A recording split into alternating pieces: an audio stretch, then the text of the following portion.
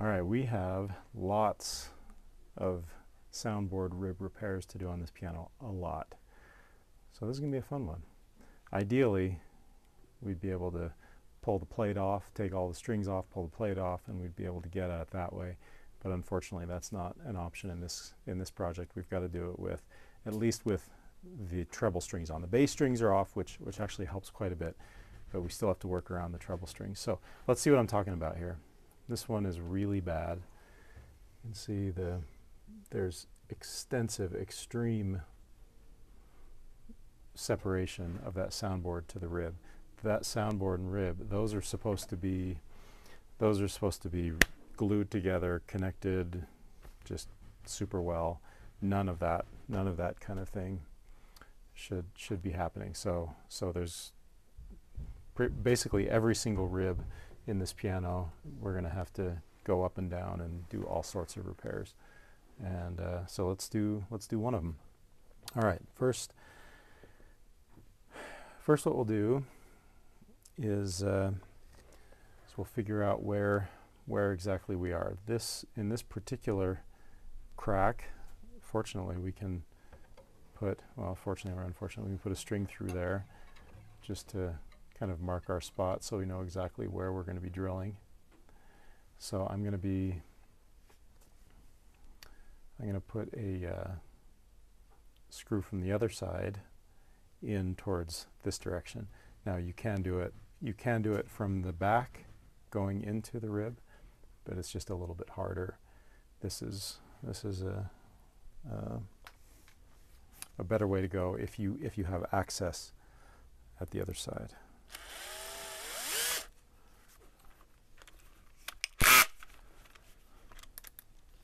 First thing is we're just going to drill through the soundboard only. We're going to drill right in there, but on the other side, um, through the soundboard only. What we want, I'm, I decided for this piano I'm going to use these these number six screws. So let's see. Probably use three quarters. That's probably fine. One inch is probably overkill. This drill bit is 140 thousandths and the overall diameter of the number six screw is about 140 so it should basically just pass right through the soundboard which is what we want. Okay let's go to the other side. So we're going to go down and slightly that direction from the wire. Okay, so see the wire there.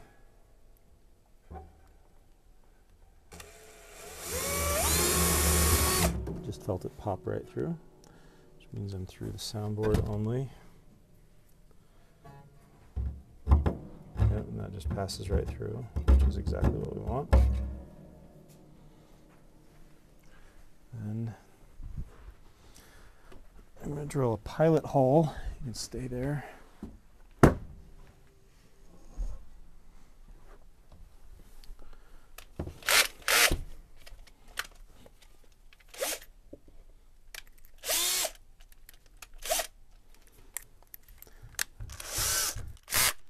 going to drill a pilot hole for the threads of this screw the or sorry sorry for the shank that's the same size as the shank of the screw. The shank of the screw is is um, hundred thousandths, and this drill bit is about ninety thousandths. So because it's a soft wood, I'm going less than the shank. Usually I want to go at least the shank, but this is a really soft wood. I really want it to to have plenty of good bite. I don't think we're at much risk of, of any splitting. So I'm just going to go in there a little bit not very far at all. And then this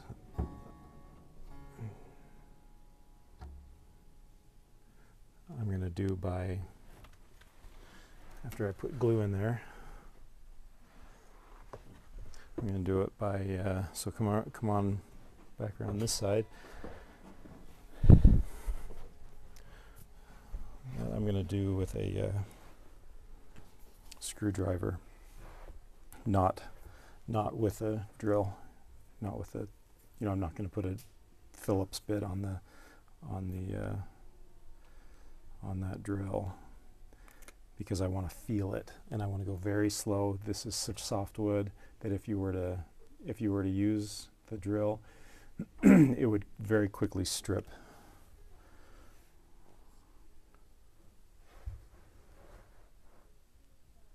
See if we can get glue through this needle.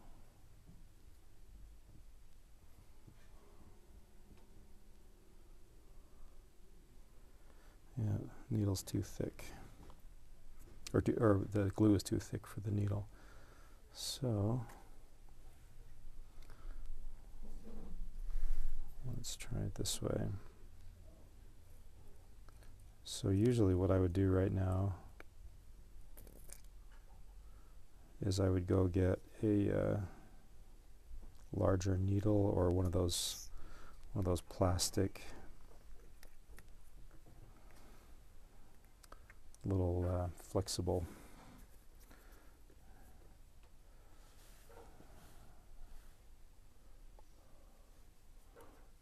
but since I'm making a video and I don't want to take the time to go get it I'm just gonna do it with this. And there is plenty of space for me to get the tip of this syringe in there.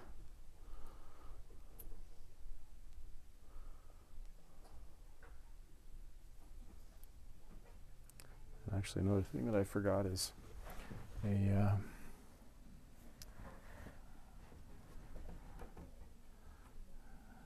a moist paper towel. I'm just going to put some put some glue in there.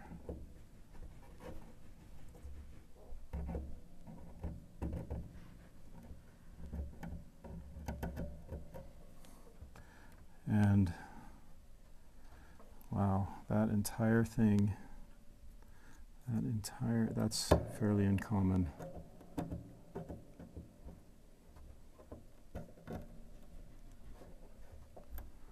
It would be that bad.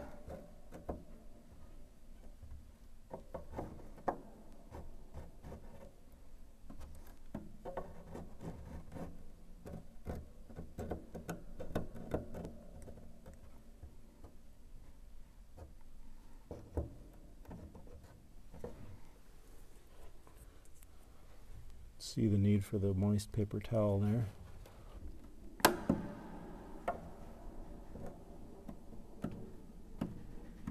Trying to kind of let gravity do do some work to get the the glue down to fill the entire crack or, or the entire the entire joint between the between the rib and the soundboard.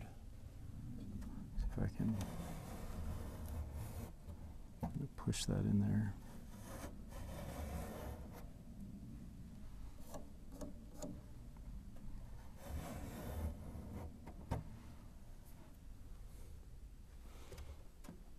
Looks like it's coming down to the other side.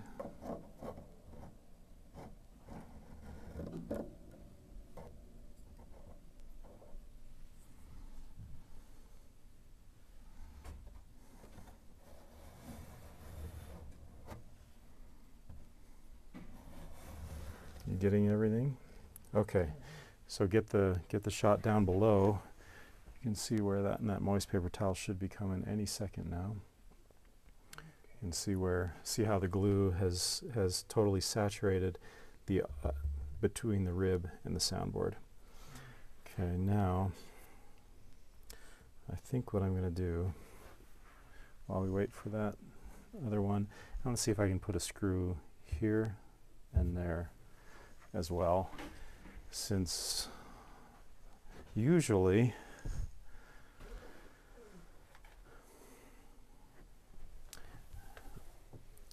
usually what we need to do in this case is we need to just put one, usually there's just a little bit of separation, you know, an inch or two on either side of the crack, but this one, the separation is all the way down.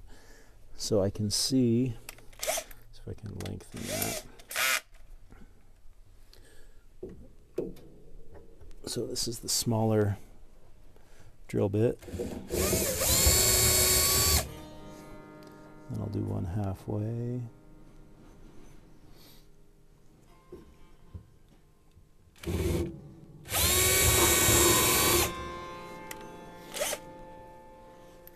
Thank you, Jake.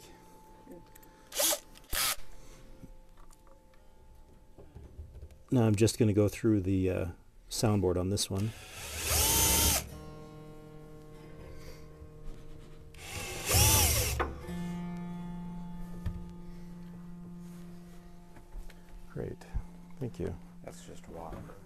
That's perfect. That's all I need.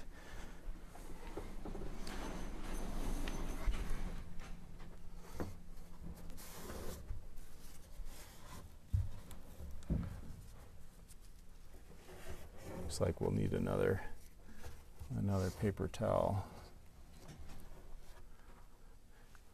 Will you get another one for me? We've got a lot of glue. Now I'm going to put in, you know, I changed my mind. I said I was going to do three quarters. I'm going to do a full inch.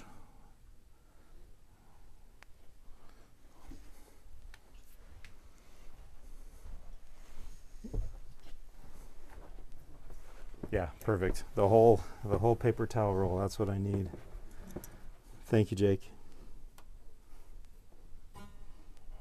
Okay, so it should just pass through.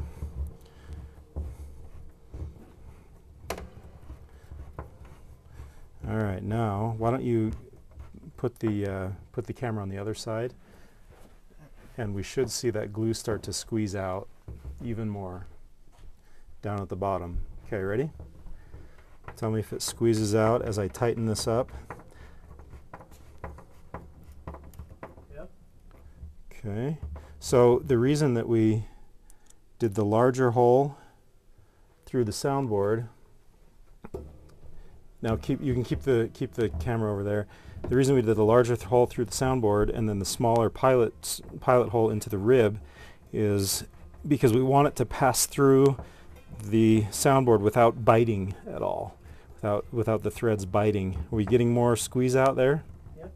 Okay. Now, by the way, we're gonna and then one more. I'm gonna do one one last one. So the the uh, the, the soundboard acts as kind of a washer to pull those two together, and then that glue will, of course, dry. And then we'll take these screws out when the glue is dry and replace the screws with with wood. Okay, do we get more squeezing out there? Yep. Great. Is it squeezing out all the way along? Perfect. That's what we want.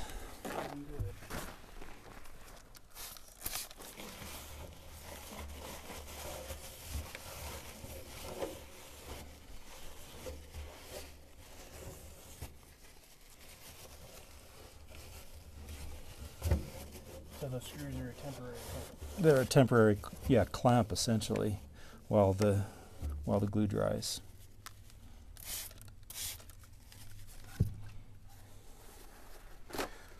So this soundboard is, you know, it's not, it's it's not going to take forever, but it's it's just going to take doing doing what I just did on on this one section of rib, doing that another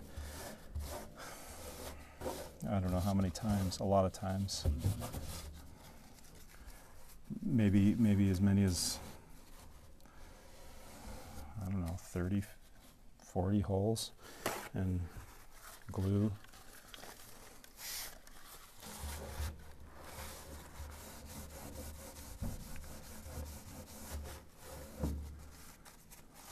Which is very uncommon usually usually a, a bad one is is more like I don't know five or six maybe ten but doing as many as this is going to require you know like I said ideally this piano would get a new a new soundboard, that'd be great, or a new ribs, but obviously that's not in the scope of this project. So it's either trash this piano or rebuild it, and we opt to rebuild. Make this make this uh, piano give it some more life. So so and uh, maybe I'll mention why we're doing this. The the soundboard needs to act as one unit. It's it's it moves air. It vibrates when the when the string vibrates. It vibrates the bridge, which is attached to the soundboard, and then that whole soundboard should vibrate as one big unit. And if you've got cracks all over the place between between the the planks of the soundboard and the ribs that aren't connecting it all together, you're going to get buzzes like crazy. That soundboard is going to vibrate against the rib, and it's going to sound like a bad loudspeaker, like an old paper loudspeaker that's had a hole po- poked in it. And it's it's it's just going to sound terrible. It's going to sound weak, and uh, it'll just have a really poor tone. So after all of this is done, and by the way, there have been a number of repairs before. I think we're going to probably repair those repairs. We're going to redo do those repairs. You can see these old screws here, where where a lot of those repairs have been done in the past. And they left the screws on there. We're not going to do that though. We're going to replace that with with dowels and and make it look real nice. So uh, yeah. So that looks good.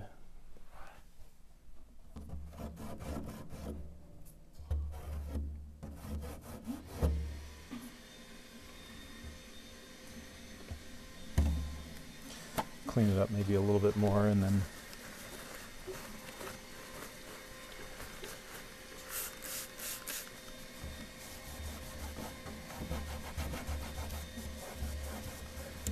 and then move on to rib number two, three, oh. all, all of them. They all need to be done.